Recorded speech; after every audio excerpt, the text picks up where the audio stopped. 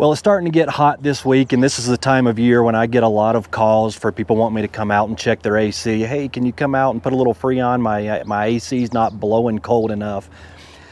Usually what I find, and I do a lot of these systems, majority of the time it's a lack of airflow uh, going through the actual evaporator, getting into the cab. You know, we're not getting good uh, air out of the vents, and it's, you know, and everybody just seems to think they just need Freon. Well, I went ahead and put my gauges on there and I can tell just at the idle pressure that I've got plenty of pressure in there and, and, and, the compressor actually does turn on when it needs to. Now the Bobcat AC system here on the M series, this happens to be on a uh, T650. This is like a 2016 model, but all the M series used this style uh, air conditioning. Now this isn't Bobcat air conditioning, this is MCC Mobile Climate Control out of Canada. They make really good air conditioning systems. They hold up very well. But these things go through a lot of abuse as far as dirt and mud and everything that actually gets into the uh, AC system. So we got to make sure we keep all that clean. We got to keep the heater core clean, the evaporator core clean. We got to make sure that we change our filters on a regular basis or the evaporator can actually freeze up if it doesn't get good airflow. And we can't forget the most, or one of the most important uh, filters behind the seat is the um, uh, recirculation filter.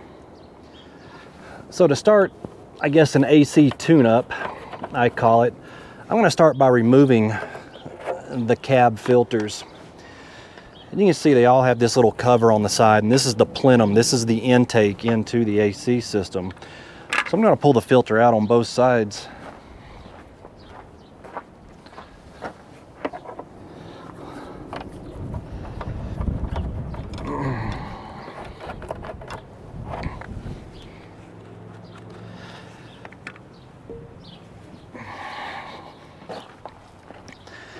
And then what I'm going to do is I'm going to take off my uh, cover to get access to the coils.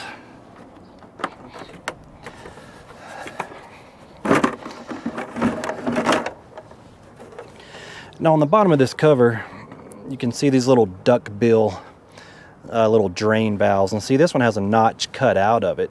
Usually they don't have a notch cut out of it. And what happens, see, water is supposed to drain through the holes here in the cover if the water, if dirt gets down in this little duck bill, the water cannot drain out and it'll just cause mud to build up in here. And um, the water will actually build up in here and freeze inside our coils. So that's why these are cut out. You know, they're usually cut like a V like that or cut at an angle so that water can drain out. That's probably one of the biggest problems with this system is that these get clogged up so easy.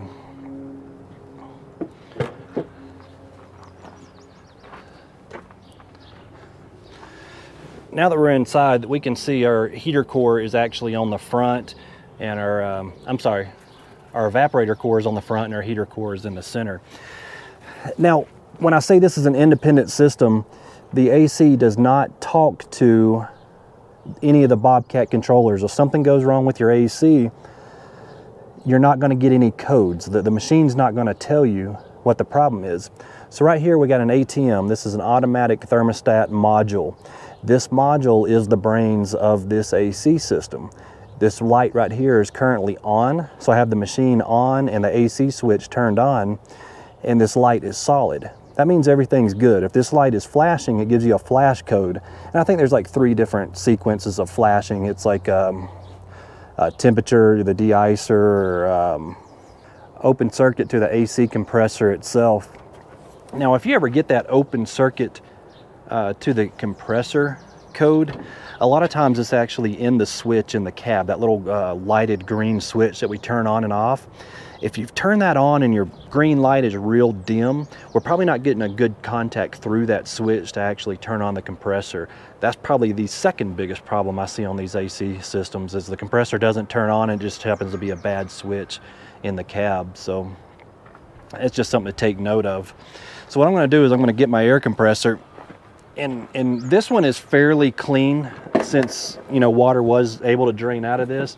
It's not covered in mud. Sometimes I'll actually have to wash these out. But this one's relatively clean so I'm going to go ahead and get my my air compressor hooked up and we're going to blow out all these coils. We're going to blow out our plenums. That's why we're going to leave our filters out and we're going to blow out our plenums and just get this area good and clean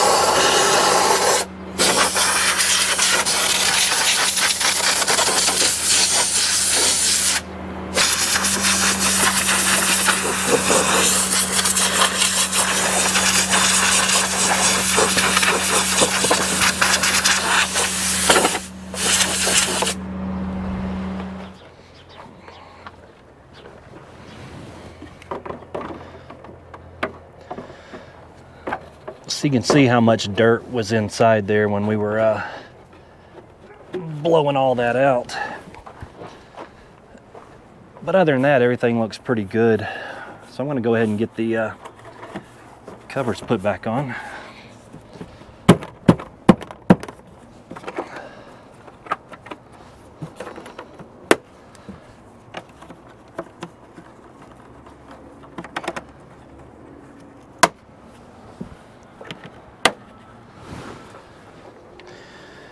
Then I'm going to go ahead and install the new fresh air uh, cab filters.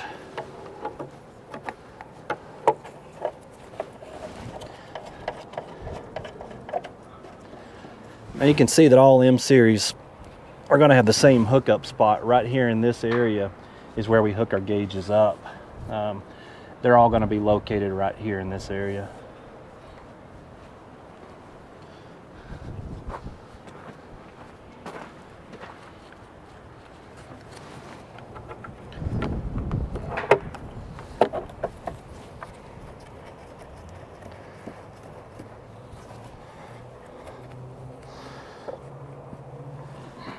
Now this is my recirculation filter that is behind the seat. I've got the seat slid all the way forward so I can reach over the back to put this in. You can see it's got these three metal clips on here and this thing is a real pain to kind of pop out. So I just use a pry bar. We just put it back here in each corner, you know, on either side and in the middle. And we're just gonna pop that filter right out.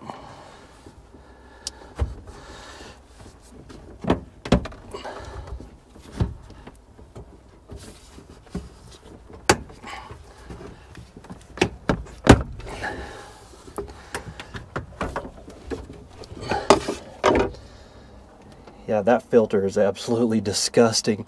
And a lot of people don't even know this filter is back here for some reason. And a lot of times what I see is clipboards or paperwork, uh, bottles, trash, everything blocking the flow of this recirculation filter. So it's important to keep behind the seat clean uh, if you're having AC issues or just general maintenance. Always make sure that this filter is clean and free of obstructions, no blocks in front of it. And to get the new one in, we just simply line it up and pop it into place.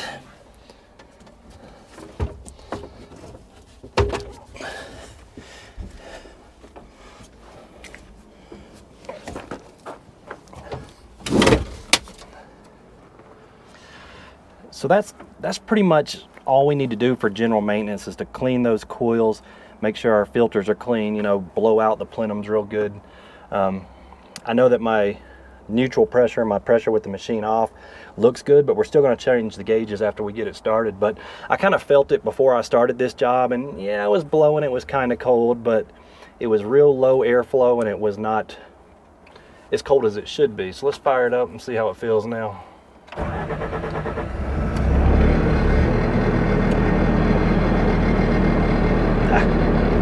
Always forget that when you do this job is when you see when you first turn the blower on a lot of dust does come out those vents so I just got totally dusted out here ah.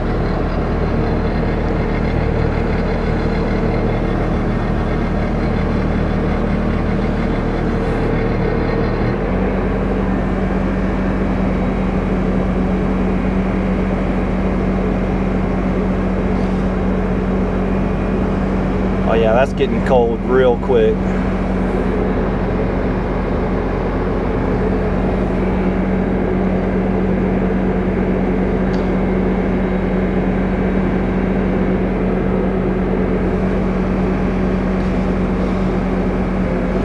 Yeah, so that feels a lot better. I got really strong airflow out of there and it's really cold too. Let's take a look at our gauges.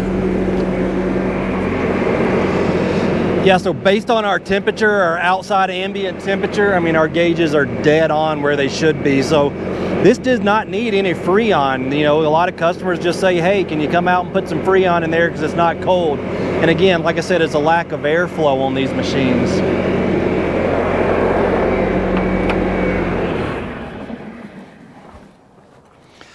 So it's hard to go over every possible scenario why your air conditioning on your Bobcat won't work, but hopefully that gives you kind of a general idea of what to check for, you know, airflow, filters, cleaner coils.